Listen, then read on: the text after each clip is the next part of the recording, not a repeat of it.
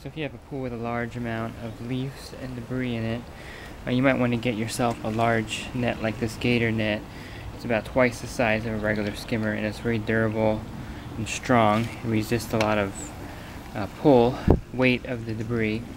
Uh, the only problem with this, it does get heavy if you get tons of debris in here. Pulling it out of the bottom or from this top skimming um, could be a challenge if you don't have um, the muscle to do it. Um, but it is an excellent net as far as getting a large amount of debris at once. And you can see here that it's just a pretty huge net compared to the regular skimmer one here. You can see it side by side there. It's about twice the size of this one here. See it in action here that it's picking up a large amount of debris at once.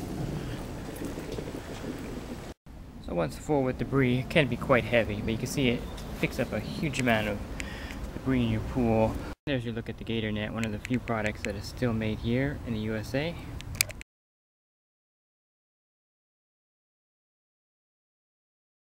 And here's a fine mesh net. And the good thing about this is really good on the surface with little bugs and whatnot. it's good for small little spas like this here. So it's a little bit more of an effort to get it to go down to the bottom of your pool or spa because it is such a fine mesh.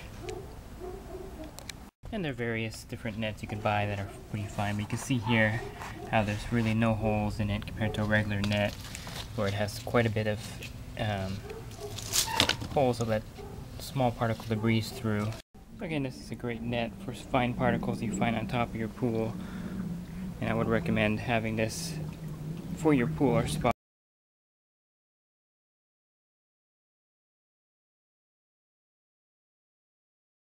It's the net that I sell to the customers I use myself. It's the Aqua Pro 100. You can buy it online or maybe at a local pool store. What I like about this one, everything is replaceable from the net itself, from the yellow molding that goes on that side, from the handle. So everything can be replaced and gives this a much longer lifespan than your normal throwaway skimmers. So you can just take everything apart and replace the parts. And I use a slightly modified version myself. I have a white retro net and it's a little thinner material which makes it easier to dump the debris out. I'll show you in a moment. And also I use a stainless steel frame versus a regular frame that's in there. The one thing about the Retronet that I like is a much thinner material so I can actually turn inside out very rapidly and empty out the debris. It's very easy to empty out the debris in here versus the regular net, which is a little bit harder to do this. The only risk is if when you're in the pool itself, you could actually reverse it on accident and all the debris will come out. You gotta be careful when you use the retro net. And so there's your look at the leaf nets that I use on my route. Hope that was helpful. And one good trick that I use, you can use tile soap or dish soap.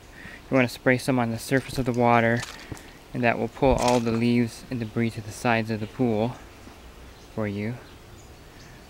And it also clarify the water so you can actually see the bottom really good. There's definitely a technique when skimming. You want to start on the edge. You want to kind of hit. You want to kind of hit it pretty vigorously to kind of knock any debris off the tile. You want to go around the pool a couple of times doing this, staying close to the edge. And you don't want to store your net out like this where the sun will hit it all day because that will just destroy the material that it's made out of. You want to store it in a cool, dry place, somewhere where the sun's not hitting it continuously.